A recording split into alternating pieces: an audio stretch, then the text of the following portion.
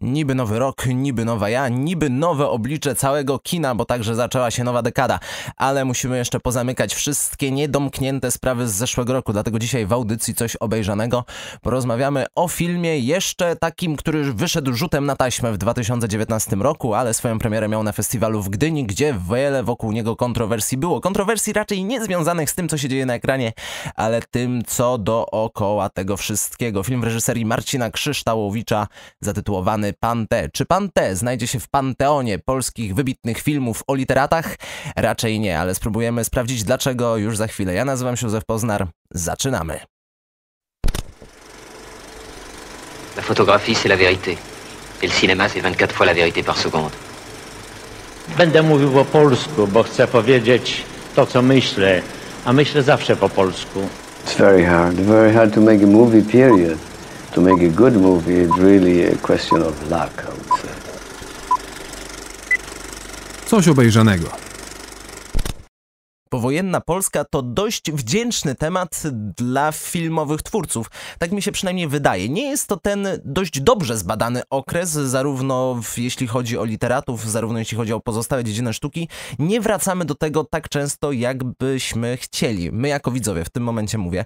E, z filmów, które na pewno do tego nurtu powrotu do lat 50. wracają, jest Rewers Borysa e, Lankosza z 2009 roku. Trochę czarna komedia, znowu czarno-biała, ale tam to się jako tako grało. Później oczywiście był pan Pawlikowski i Ida i Zimna Wojna i to rozgorzało wszelkie nadzieje i oczekiwania względem tego pięknego okresu i jakiegoś takiego mówienia w sposób romantyczny o tych czasach, które w żaden sposób romantyczne nie były. Więc y, gdy pojawia się film, który w sposób dość jasny wskazuje o czym chce mówić, no to oczekiwania możemy mieć dość duże. Ja przynajmniej takie miałem.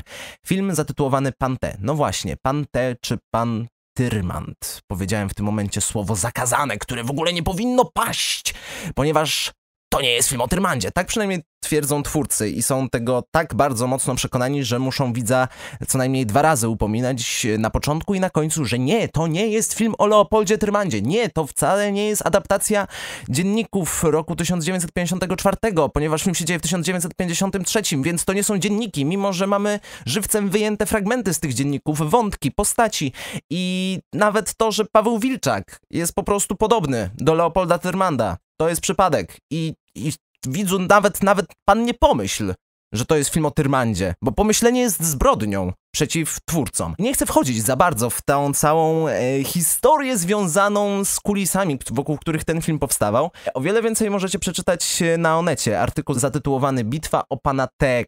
Tyrmanda. Artykuł, który dość dogłębnie wchodzi w to, kto ma rację, a tak naprawdę nie stwierdzimy, kto ma rację, ale nie trzeba być ekspertem w żaden sposób, nie trzeba się za bardzo znać na tym temacie, żeby stwierdzić, że coś jest trochę delikatnie na rzeczy, że jednak nawet jeżeli to nie jest film o Tyrmandzie per se, to wykorzystuje wiele motywów, które z Tyrmandem byśmy utożsamiali, począwszy od wyglądu, zachowania, dialogów, wątków i całego przesłania, które tam wychodzi, ale całość możecie sobie przeczytać właśnie na Onecie w artykule Kamila Tureckiego i Janusza Schwertnera. E, oni o tym o wiele lepiej, o wiele dokładniej opowiedzieli. Natomiast to, co mi się wydaje, to to, że twórcy trochę sobie strzelili w stopę. Ja bym przewidywał, że to wyglądało tak, że oni nie chcieli robić tak wprost adaptacji dziennika, czy adaptacji złego, czy e, biografii samego Leopolda Tyrmanda, bo wiedzieli, że w sensie stricte prawnym absolutnie polegną tutaj na całej linii, więc chcieli zrobić coś delikatnie inspirowanego, coś, co wykorzystuje te motywy, coś, co jest bardzo trudno udowodnić w sądzie. I teraz nie mam absolutnie pojęcia, jak potoczy się ta sprawa w sądzie, czy sąd opowie się, że tak, to jednak jest trochę zainspirowane za mocno, czy jednak e, wykorzystuje to wszelkie jakieś takie prawa m, autorskie, prawa do wolności słowa i wypowiedzi. E, ale jeżeli ten film rozpatrywać fak w faktycznej bańce, że nie jest to w żaden sposób związane z Tyrmandem, że jest to historia zupełnie osobna, to ten film zdecydowanie traci, ponieważ żeby wejść w świat pana T, żeby w jakiś sposób wczuć się w ten klimat, to my musimy mieć bardzo duży background znajomości wydarzeń historycznych, postaci historycznych i nastrojów społecznych, które w tamtym czasie e, się działy, ponieważ sam ten film nie próbuję tego widzowi w żaden sposób wytłumaczyć. Widzisz, widzu, musisz sam wiedzieć dużo, żeby ten film mógł ci powiedzieć dokładnie to, co wiesz. Coś obejrzanego. Gdyby zastanowić się nad fabułą filmu Marcina Krzyształowicza zatytułowanego Pante, no to to będą bardzo długie rozważania, ponieważ w sensie stricte fabularnym nie znajdziemy tam historii od A do Z. Raczej mamy tam poszatkowane, fragmentaryczne urywki z poszczególnych momentów tego dość delikatnego okresu w polskiej historii, jeśli chodzi o sztukę i nastroje polityczne bo fabuła toczy się tak w kilku różnych ramach. I ja nie będę tego rozpatrywał e, w sytuacji, czy to jest o Tyrmandzie, czy to nie jest o Tyrmandzie. O wiele ciekawiej możemy to rozpatrywać w sytuacji widz wie trochę, czy widz nie wie nic na temat tego, co się działo w tamtym okresie, bo to nie jest okres tak dobrze znany. Oczywiście postać Bolesława Bieruta raczej jest dość dobrze znana i w tym filmie jest nawet nazwana wprost, że tak, Jerzy Bończak gra Bolesława Bieruta. Natomiast jeżeli chodzi o wszystkie inne elementy, to oglądanie tego filmu, jedną z największych przyjemności bądź frustracji, które mogą wynikać z oglądania filmu Pante,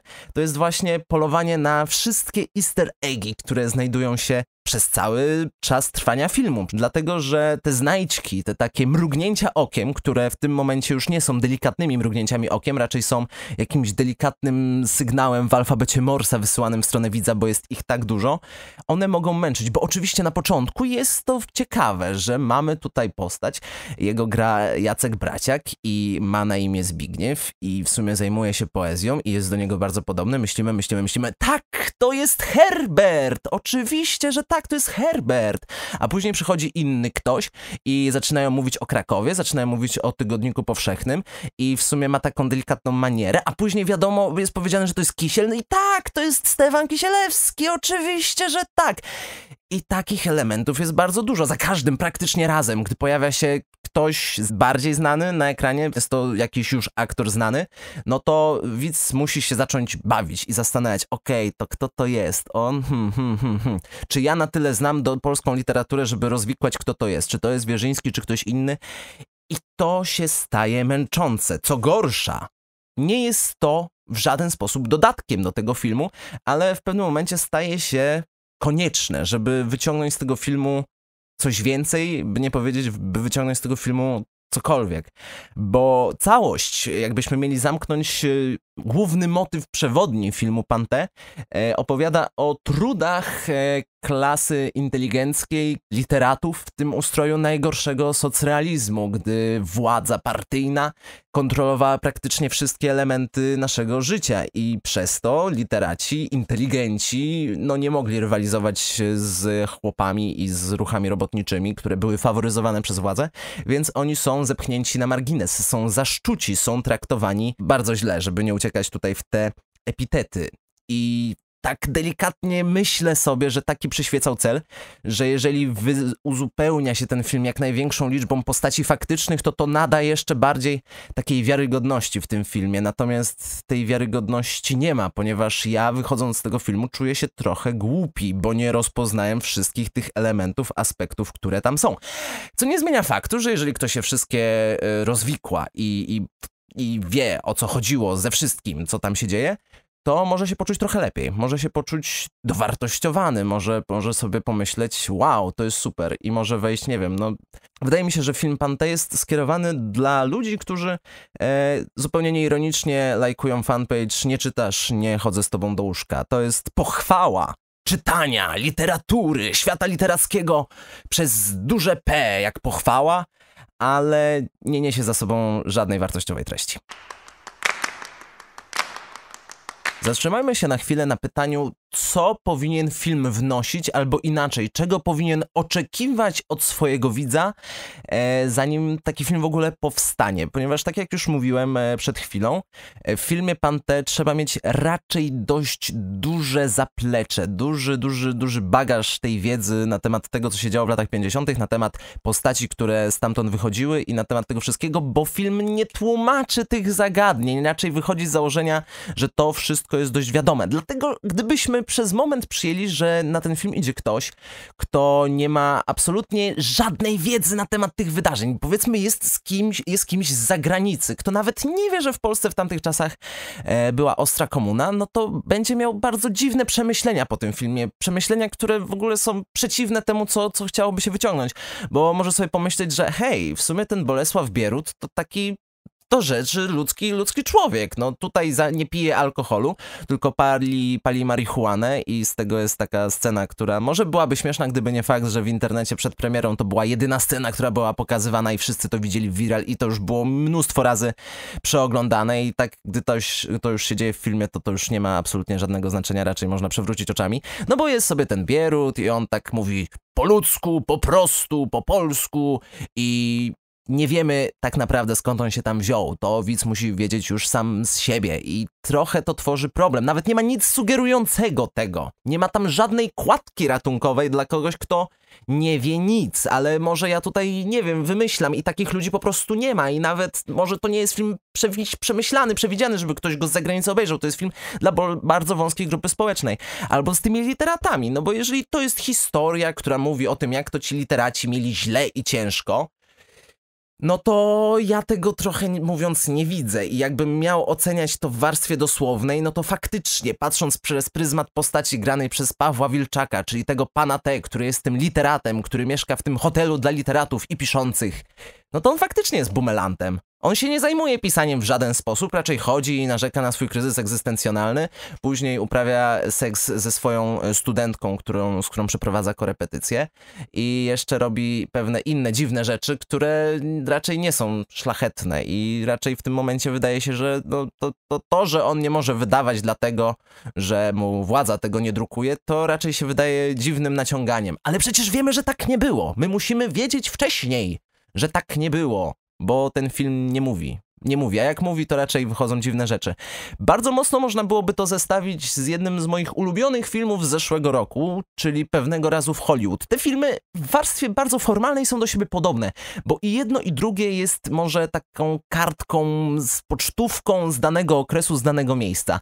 Jeżeli chodzi o Pewnego razu w Hollywood, to były lata 60., a konkretniej rok 69 w Los Angeles, rok przełomu dla całego kina, dlatego jak to kino się zmieniało, a tutaj mamy rok 53 i świat literatów w Warszawie. Tylko różnica jest bardzo mała, ale przez to bardzo znacząca. Dlatego, że film pewnego razu w Hollywood można było śmiało obejrzeć, nie mając wiedzy jakiejkolwiek na ten temat. Można było ten film obejrzeć, nie wiedząc, że Sharon Tate była faktyczną osobą, która istniała i banda Mansona faktycznie też tam była i oni sobie żyli na tym ranczu. Można tego nie wiedzieć i ten film dalej będzie sprawiał przyjemność i ten film dalej zachowa swój magiczny charakter. Natomiast jeżeli o tym się wie, no to to jest wartość dodana, to jest wartość już dodatkowa i to może wpływać tylko pozytywnie. Natomiast w przypadku filmu Pana T, i powtórzę to po raz kolejny, bo chyba pewne rzeczy trzeba powtarzać, no to jeżeli nie wiesz pewnych rzeczy, drogi widzu, no to sorry, w tym momencie już przegrałeś. Wtedy nie będziesz wiedział, które elementy filmu są faktyczne, które dzieją się faktycznie w osi fabularnej, a które są wymysłem w głowie głównego bohatera, bo nawiązują do najważniejszej książki, którą napisał Leopold Tyrmand, ale przecież to nie jest adaptacja o Tyrmandzie, tylko o panu T.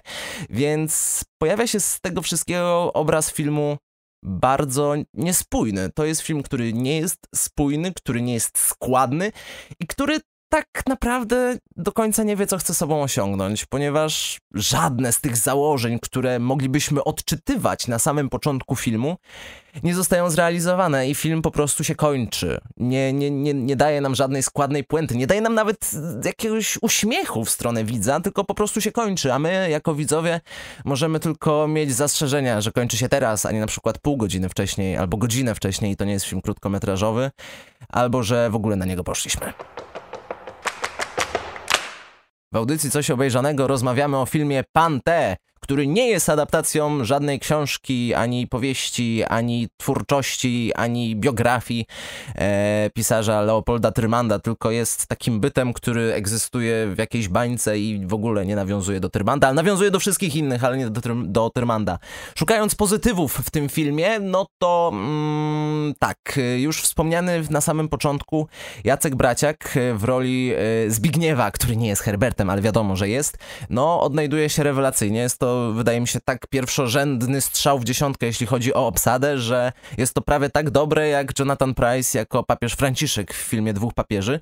Z chęcią bym zobaczył faktycznie film osobny o braciaku i Herbercie i parę innych takich strzałów w dziesiątkę jest, natomiast jest dużo takich nawiązań, że o, pojawia się ktoś znany i w sumie to nie ma uzasadnienia i, i, i, i, i tyle, no bo jest scena, i to by trochę spoiler, ale jest taka scena, że jest Jacek Fedorowicz, jest Kazimierz Kuc, jest y, Leszek Balcerowicz i oni są, oni są przedstawicielami inteligencji i robią rzecz, która nie jest inteligencka. I spoko, ale ja przez całą resztę filmu się zastanawiałem, dlaczego tam jest Leszek Balcerowicz? Dlaczego, dlaczego tam jest Leszek Balcerowicz? To jest pytanie, na które nie dostaję odpowiedzi. Jest scena, w której się pojawia Bartłomiej Topa i on jest tam na jedno ujęcie i później jest coś dziwnego się tam dzieje i później ten Topa już nigdy nie wraca i ja cały czas się zastanawiam, kogo gra Bartłomiej Topa, bo w napisach było napisane, że to jest znany aktor i znowu ja się czuję jak głupek, bo nie wiem, co to jest za znany aktor.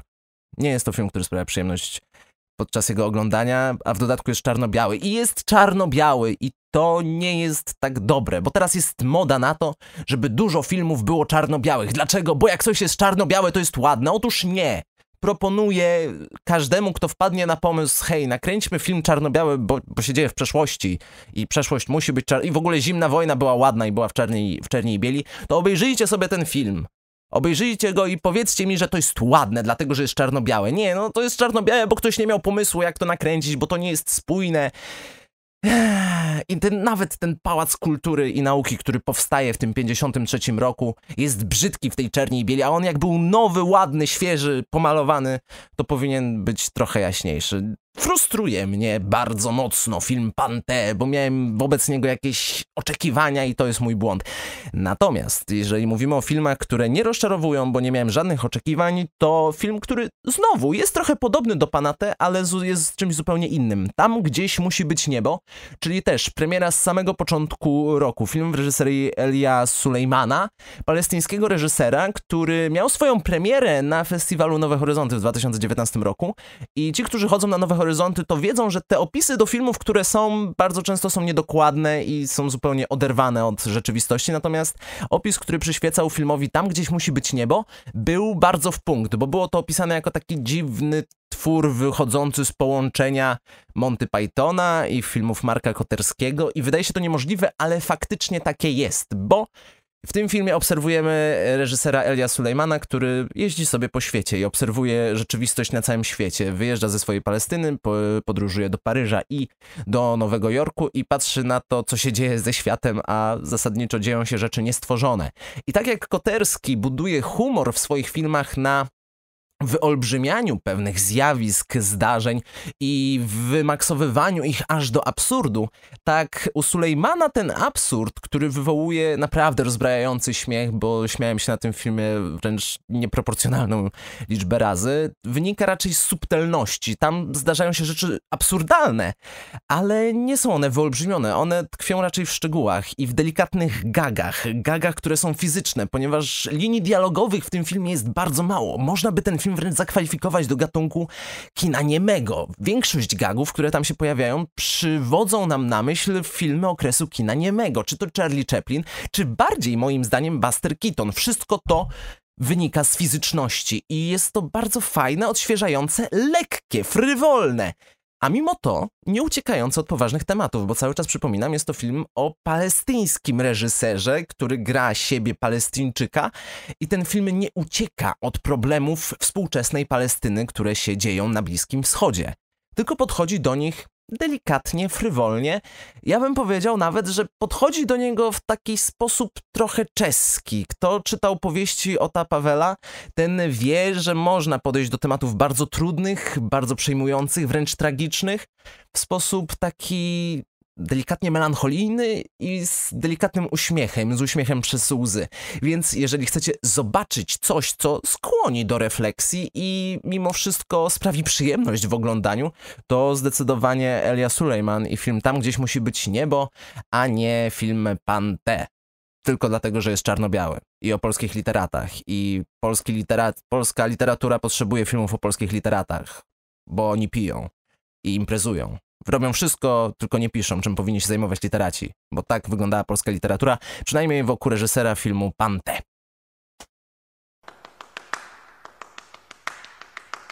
Coś obejrzanego. Czy na film Pante warto wybrać się do kina? Moim zdaniem nie.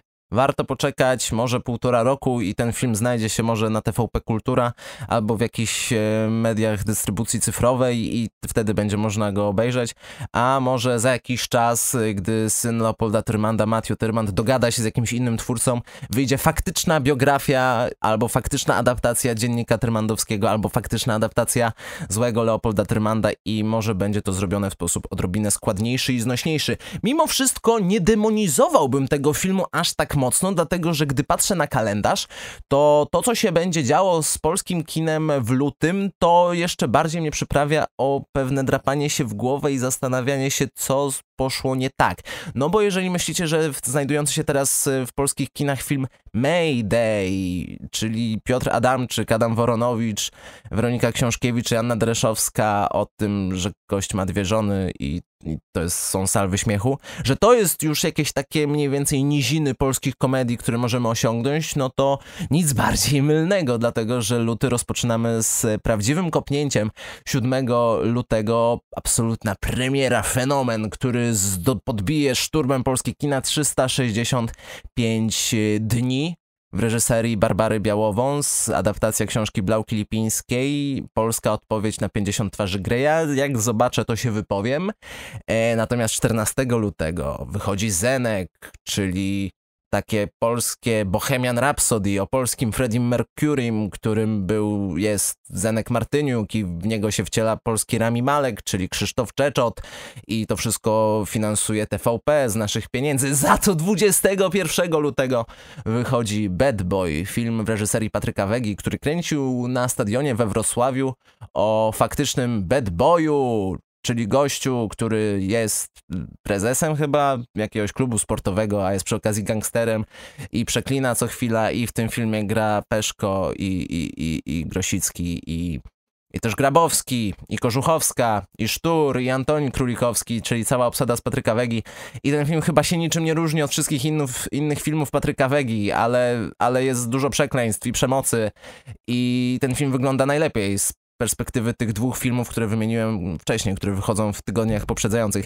Więc na pewno luty w polskich kinach będzie zachwycający i zdumiewający Między innymi też dlatego, że wtedy też będą Oscary, więc będą wchodziły filmy, które będą alternatywą dla tych polskich filmów, więc nie macie żadnych wymówek, po prostu w lutym i jeszcze końcówką stycznia do kin marsz. Ja do kina także marsz, więc dziękuję za te chwile, które spędziliście przy słuchaniu audycji Coś Obejrzanego. Ja nazywam się Józef Poznar, słyszymy się już w przyszłym tygodniu, trzymajcie się ciepło, cześć!